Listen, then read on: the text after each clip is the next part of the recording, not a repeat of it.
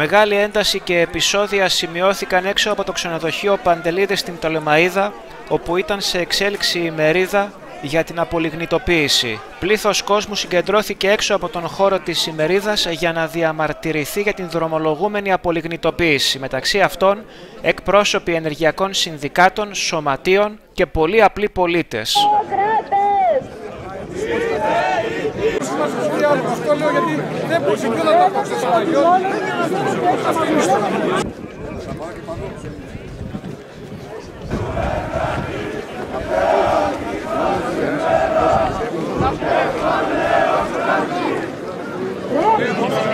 και εσείς σήμερα εδώ, σύσσωμα οι φορεί αλλά και η τοπική κοινωνία, με μία φωνή διατρανώνει την αντίθεσή της σε αυτό που βία προσπαθεί να επιφέρει η κυβέρνηση.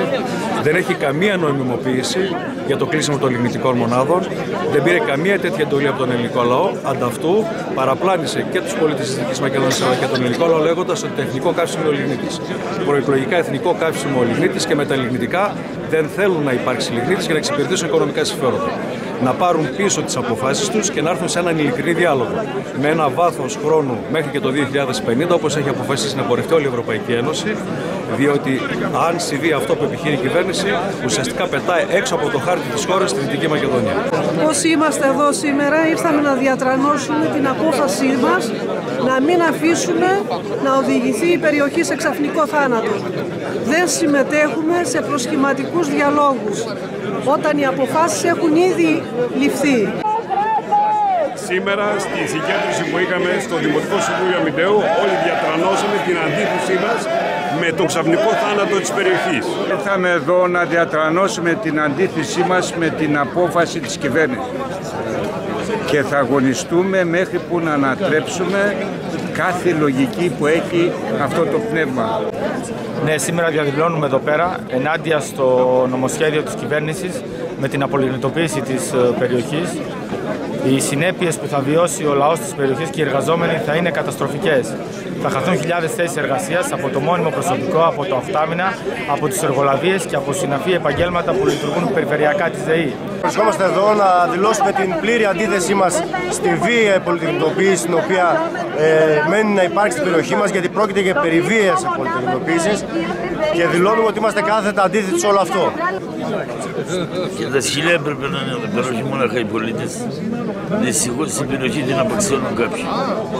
Αυτή η περιοχή που έδωσε το φως στην Ελλάδα για 60 χρόνια την πετάσαμε στη μήνυ λεμονόκουπα.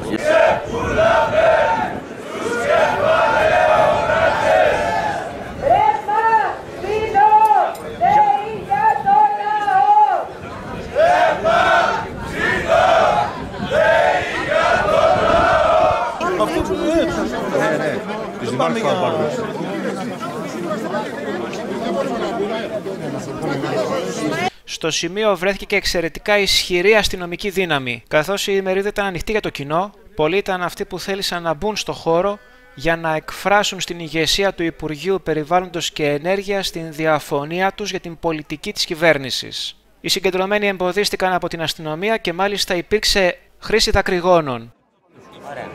Και στο Κασαπίδι. Ε, Περιφερειάρχη! Περιφερειάρχη! Άτος, άτος ο Περιφερειάρχης. Να μας πει ότι δεν είμαστε Βόρει μαζί μου, έλα.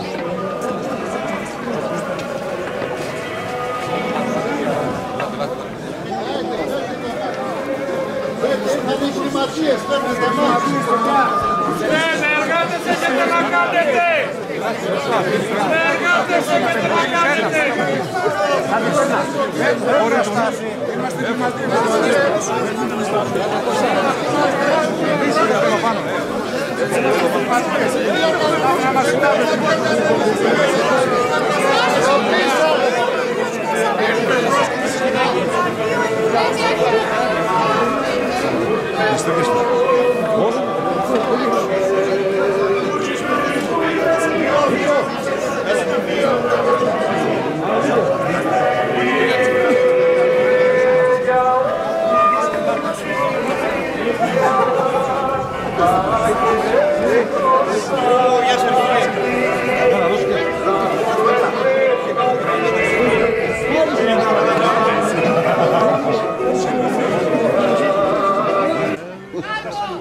Não, não, não.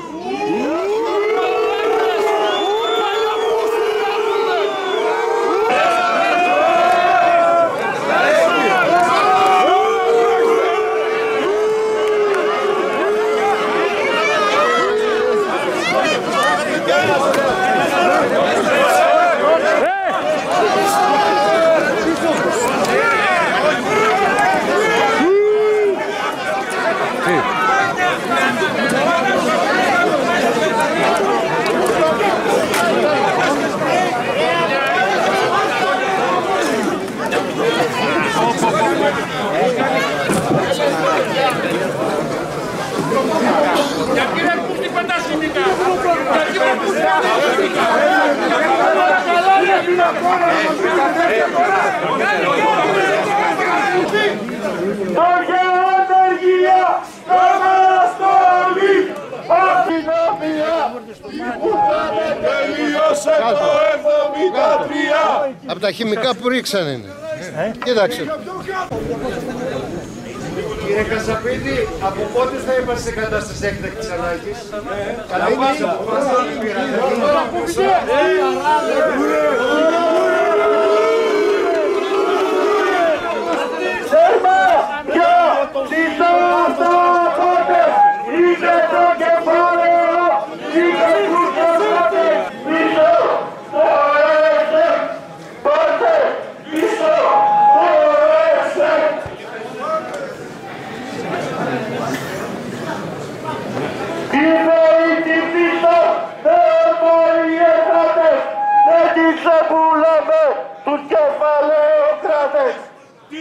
Άλλοι της χτίσαν με αίμα ή εγγράτες, δεν την ξεπουλάνε.